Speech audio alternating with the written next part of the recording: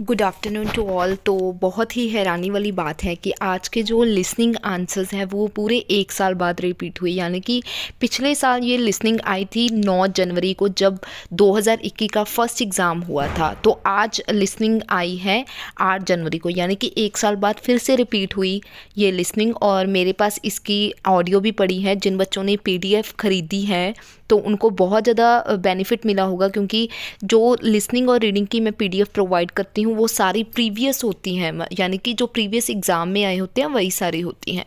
तो देखते हैं लिसनिंग के आंसर्स तो 8 जनवरी 2022 को लिसनिंग के आंसर्स मॉर्निंग स्लॉट के। सो फ़र्स्ट का जो आंसर था, वो था blue card B L U E C A R D second was July J U L Y July third agency या फिर वेबसाइट तो दोनों में से एक आंसर आ सकता, कईयों ने एजेंसी लिखा, कईयों ने वेबसाइट लिखा, देख लेना कौन सा आंसर ठीक है।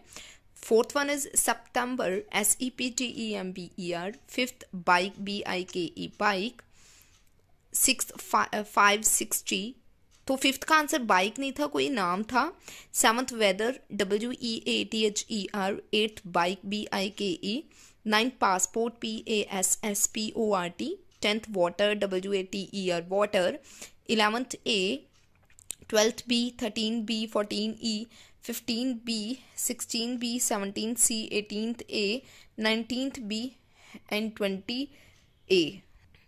21st B twenty second C twenty third से लेकर ट्वेंटी फिफ्थ तक not available twenty six A twenty seventh B twenty eight F twenty ninth G and thirty D thirty one music M U S I C music 32 photographs PHOTOGRAPHS 33 exhibition exhibition and 34 oral oral 35th public public 36 course course 37th labor labour 38 identification iden E N T I F I C A T I O N 39 insurance, I N S U R, A N C E and 40 newspaper, N E W S P A P E R.